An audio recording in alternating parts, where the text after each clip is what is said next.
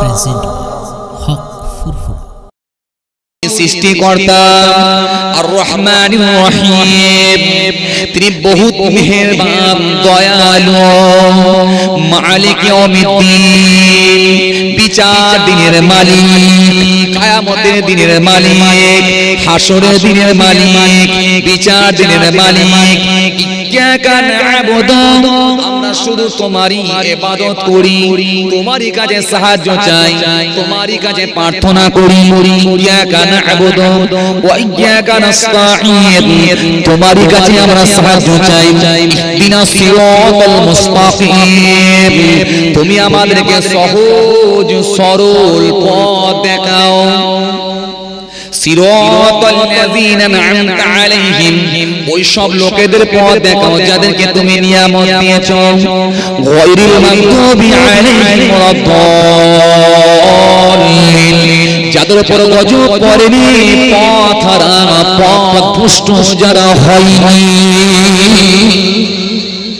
কথা বুঝছেন? তাহলে আপনাকে সহি ভাবে পড়তে হবে। এগুলো যারা নামাজ পড়েন তাদের জন্য বলছি আমার মুরব্বী বাপেদের কথা বিশেষ করে। আপনাকে খুব সহি ভাবে মুখস্থ করতে হবে। এই জন্য বুড়ো বয়সের মুখস্থ তো ওই জন্য বাচ্চা বেলা থেকে মুখস্থ করা দরকার। কথা ঠিক কিনা? আর যখন থেকে তার উপর ফরজ হয়েছিল নামাজ তখন থেকেই ফরজ। এই জন্য তখন থেকে মুখস্থ করা তার লাগতো। কিন্তু সে মুখস্থ করছে কবে? সে সত্তর বছর বয়সে। এই সত্তর বছর বয়স থেকে মুখস্থ করতে গেলে টারা হবে এদিকে ঢেউ মারবে ওদিকে চলে যাবে। এদিকে স্টিয়ারিং ঘোরাবে ওদিকে গাড়ি চলে যাবে। কথা ঠিক কিনা এটা সাহস এটা এটা স্বাভাবিক স্বাভাবিক কথা বুঝতে পারছেন এটা হয় তো এই জন্য যতটা পারা যায় আমাদেরকে সংশোধনের জায়গায় আসতে চলুন চলুন পরে আগে আলোচনায় আগিয়ে ও ভাই যাই না জওয়ান জামাকেরা ও আমার মুরব্বিয়ানেরা বাবারা শুনে এখানে আলোচনা করতেছিলাম খুব অল্প সময়ে কোনখানে আলোচনা করে আপনার সামনে একটা পয়েন্ট রাখব বলেছিলাম সেটা কি? কূপের নিচে উপরে আল্লাহর নাম লেখা আছে সেটা কোন কোথায় আছে? এই আলোচনাটা করব বলেছিলাম। তার আগে প্রয়োজনীয় কতগুলো কথা বলছি। যেগুলো আমাদের খুব প্রয়োজন লাগবে। যেগুলো আমাদের লাগবে। তাহলে এখান থেকে আমরা জানতে পারলাম কি? যদি পরিবর্তন ঘটে নামাজ আপনার হবে। নামাজের ভিতরে যদি কেউ যায় নামাজ আপনার হবে না। নামাজের ভিতরে অজ্ঞান হয়ে গেলে নামাজ আপনার হবে না। নামাজের ভিতরে মনে রাখবেন, ইমামের আগে যদি রুকু করা হয়, ইমামের আগে যদি সিজদা করা এটা নামাজ আপনার হবে না। নামাজের ভিতরে ইচ্ছাকৃত ভাবে যদি করে যদি নামাজটা আপনার হবে না। নামাজের ভিতরে যদি কেউ আগুন মোটকায় নামাজটা মকরু হয়ে যায়। নামাজের ভিতরে ডান দিকে মা দিকে যদি তাকানো হয় মুখটা যদি ঘোরানো হয় নামাজ হবে না। ডান দিকে মা দিকে তাকালে নামাজটা মনে মকরু হয়ে যাবে চোখ ঘুরে যায়। ভালো করে শুনবেন নামাজের ভিতরে যদি কোনো কিছু খাওয়া হয় নামাজটা আপনার হবে না। এগুলো নামাজ ভঙ্গের কারণ। এগুলো আপনাকে জানতে জানতে মকরুগুলো জানতে জানতে এখন দুই বিয়াই একই সঙ্গে বসে বসে চা খেতে শুরু করেছে। কয় বিয়াই দুই বিয়াই ইনি মেয়ের বাপ ইনি ছেলের বাপ। এখন ছেলের বাপ শখ করে মেয়ের বাপকে বলছে বিয়াই বিয়াই তোমার দাঁত কটা ভেঙেছে? এ এখন বিয়াই মুচকি হেসে মেয়ের বাপ তো মুচকি হেসে বলছে খুব বেশি যায়নি মাত্র বারোটা তার মানে আছে কটা? কটা? বলেন কটা? কুড়িটা এখন এ জিজ্ঞাসা করছে বিয়াই বলে তোমার থেকে চারটে বেশি তার মানে কটা হ্যাঁ হ্যাঁ হ্যাঁ হিসাব ঠিক আছে? ঠিক আছে। কটা গেছে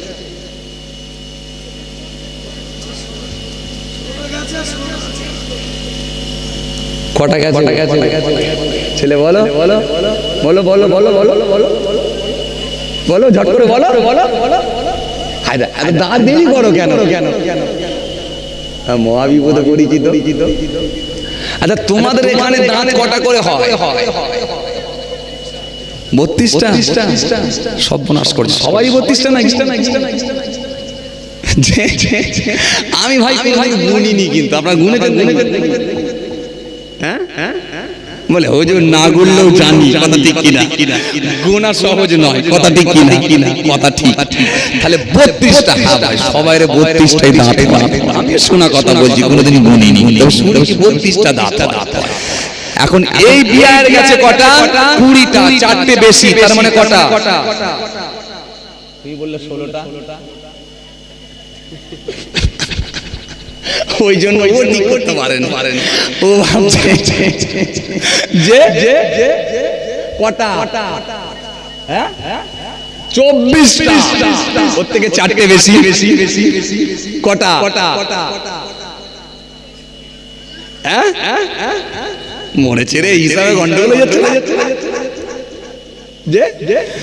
ওর থেকে চারটে বেশি তার মানে ওর কোনো বেশি। আর বারোটা ও বলছে চব্বিশটা। আসলে হিসাবে যখন ফেলে দেওয়া হয় না মাথাটা একটু গন্ডগোলি হয় তবে বাবাজি আমার ভাইরা তাহলে চব্বিশটা নয় ষোলোটা। এই ষোলোটা গেছে আর ওর গেছে বারোটা। তাই তো নাকি? তাহলে ওর কুড়িটা আছে আর এর ষোলোটা আছে। এখন চানাচুর দিয়ে চা ভাজা, চা খাচ্ছে আর চানাচুর ভাজা খাচ্ছে। হঠাৎ করে কিছুক্ষণ খাওয়ার পরে ছেলের বাপ বলছে, বিয়াই, টাইম হয়ে গেছে আর বেশিক্ষণ টাইম নাই। বলছে, কি? বলছে এসান নামাজের। বলছে, কতক্ষণ টাইম আছে? বলছে, আর কুড়ি মিনিট টাইম আছে। কুড়ি মিনিট।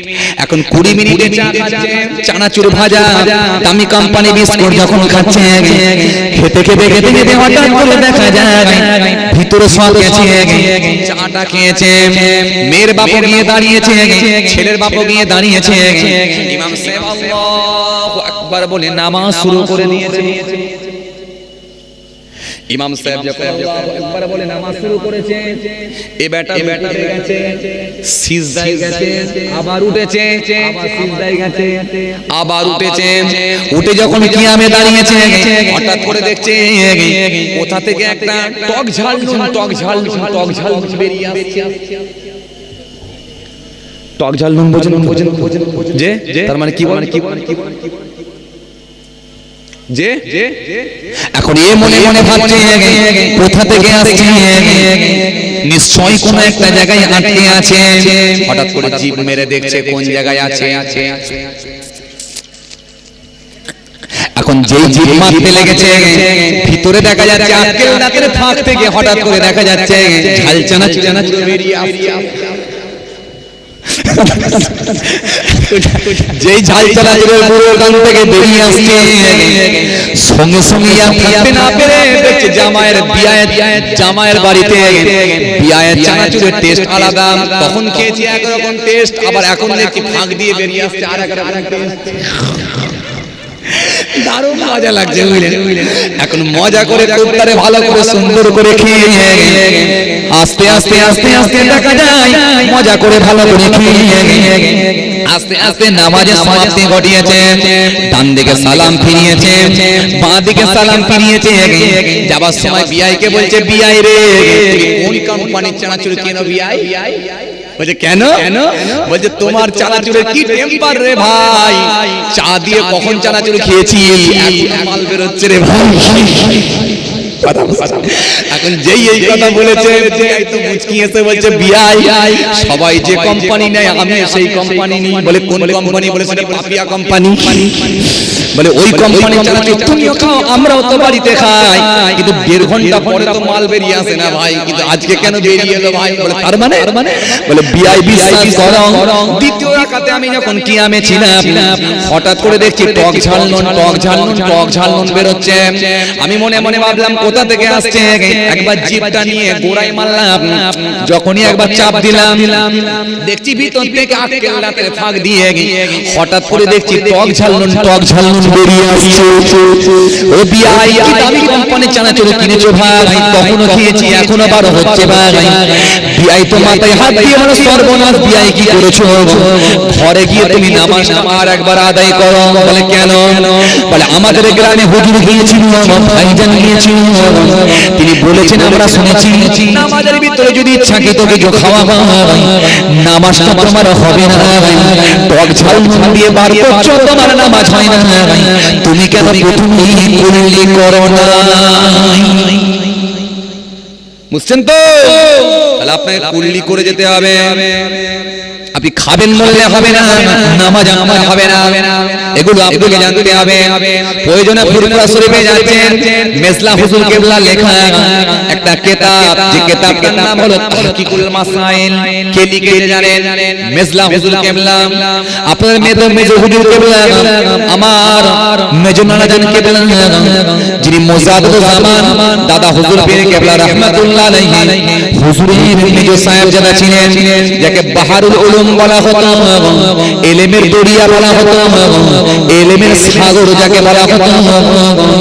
আমার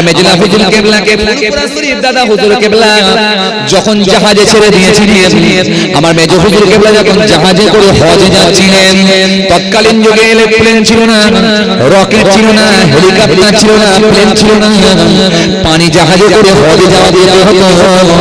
মেজলা হুজুর কেবলা জাহাজে আমার দাদা হুজুর কেবলা বলেছিলেন আমি আমার এলেমের জাহাজ এলেমের জাহাজ নিয়ে দরিয়ার উপরে ভাসিয়ে দিলাম।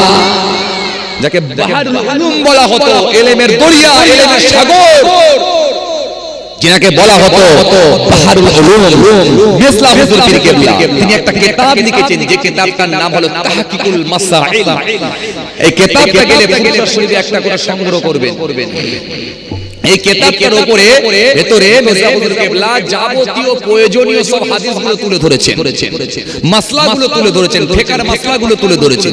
কোনটা চলবে কোনটা চলবে না কোনটা করবেন কোনটা করবে না ইত্যাদি ইত্যাদি যাবতীয় বিষয়গুলো নিয়ে মির্জা হুজুর কেবলা আলোচনা করেছেন তাহকিকুল মাসাইল পারলে একটা করে কিনবেন। একটা করে ফুরফুরা শরীফে গেলে সিদ্দিকিয়া নামাজ শিক্ষা কিনবেন। বসিরাট আল্লামা হুজুরের সিদ্দি আপনার নামাজ শিক্ষা মিলাদে মুস্তাফা পারলে একটা করে কিনবেন। আর এই সমস্ত কিতাবগুলো একটা করে কিনবেন কিনে বাড়িতে সময় পেলে একটু করে পড়বেন। অনেক ভ্রান্ত ধারণাগুলো থেকে বাঁচবেন। বাবাজি আমার ভাইরা এই জন্য বাবাজি আমার ভাইরা ভুল বুঝবেন না। তাহলে এই জায়গাগুলো থেকে আপনাকে বেরিয়ে আসতে হবে। না হলে কিন্তু মনে রাখবেন আপনি বিপদগ্রস্ত হবেন। চলুন চলুন আর একটু আলোচনা করি। না করি। ও মেরা ও মা যাওয়া তোমাকেরা হে আমার মুরব্বিয়ানিরা বাবারা শুনে কেনে যিনি কেনে বিশ্বনবী এমন কোন দিক যেটা আপনাকে আলোচনা করেন নাই ويقوم بين يحلبون ساعة ويخيط صوبه ويكسب نعله ويعمل بذات من السوق ودعا ساعة قال قال رسول الله صلى الله عليه وسلم يحب الحلوى والعسل وعن ابي هريره قال قال رسول الله صلى الله عليه وسلم اذا لبث قميصا فدعا بما يمينه বিশ্বনবী আপনাকে জানিয়েছেন সুন্দর করে বলে দিয়েছেন বিশ্বনবী আপনাকে সুন্দর করে জানিয়েছেন হাদিস শরীফে বলবেন সব নবী আমার জানিয়েছেন মনে রাখবেন বিশ্বনবী আমার জানিয়েছেন নবী হুরাইরাতে قال قال رسول الله صلى الله عليه وسلم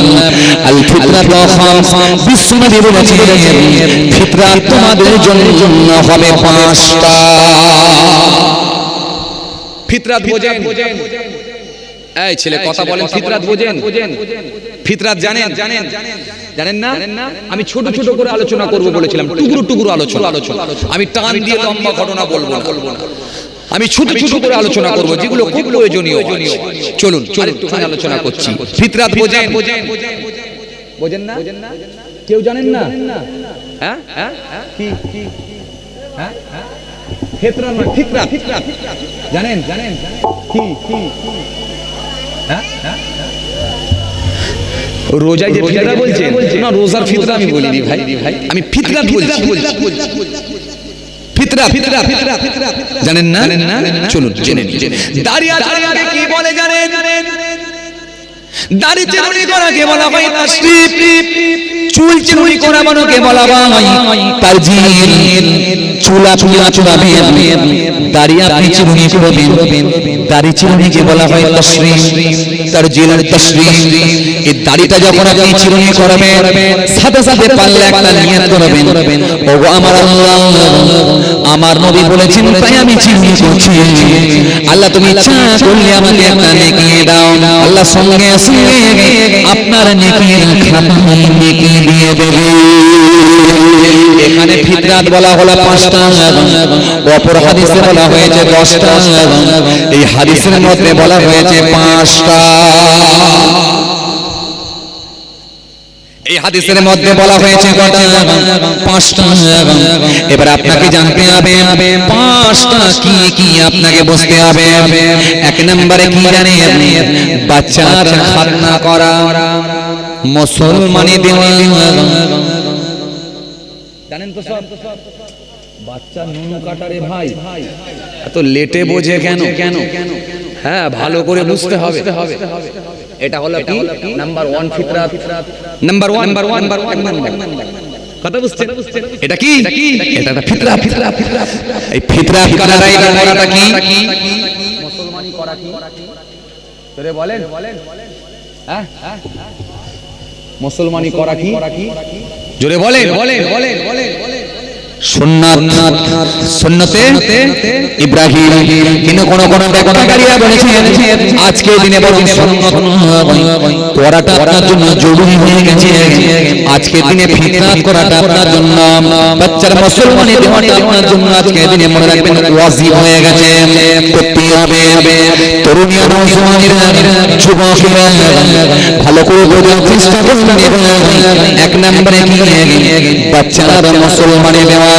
দ্বিতীয় নম্বরে কি দু নম্বরে কি নকাটা নকা ভাগে কয়দিন ছাড়া ছাড়া কাটতে হবে।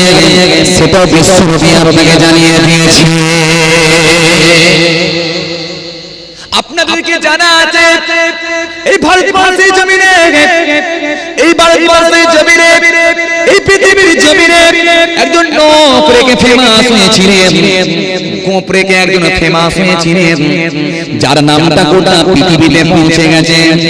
গিনেস বুকে যার নাম উঠেছে। গোটা পৃথিবীতে যার নামটা পৌঁছেছে।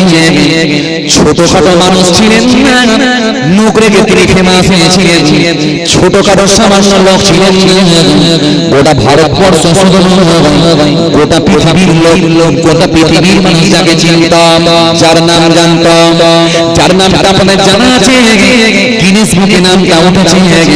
যারা জিকে বই পড়েন জিকে বইয়ে তারা পাবে নামটা তারা অবশ্যই পেয়ে যাবে এই জন্য মাঝে মাঝে আমি জিকে ফলো করি।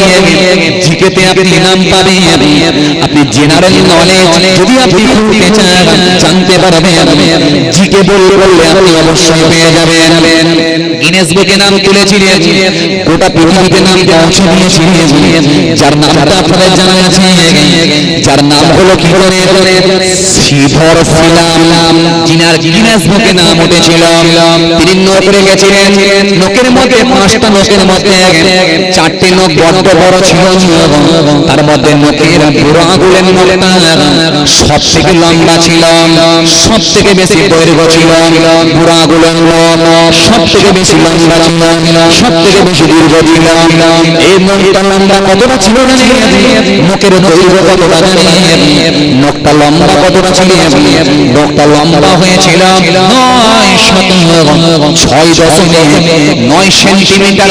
হয়ে গিনেস বুকে নাম তুলে দিয়েছিলেন।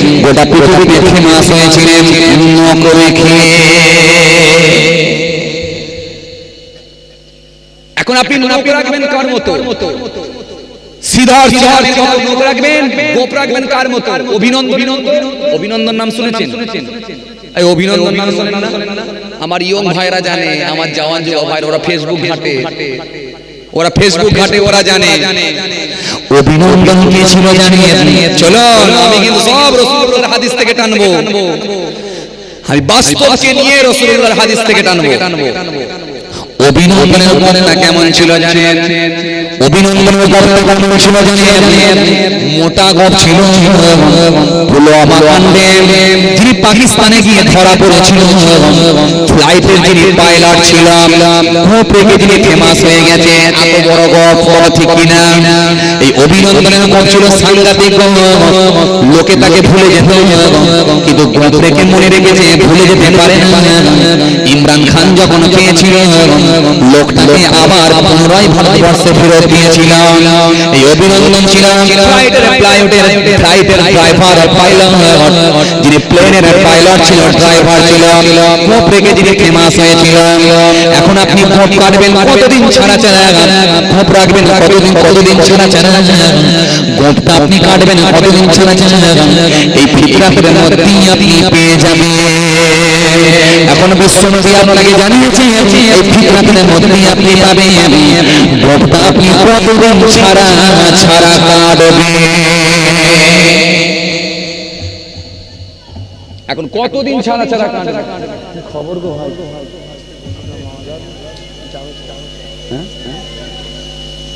কতক্ষণ দেরি হবে?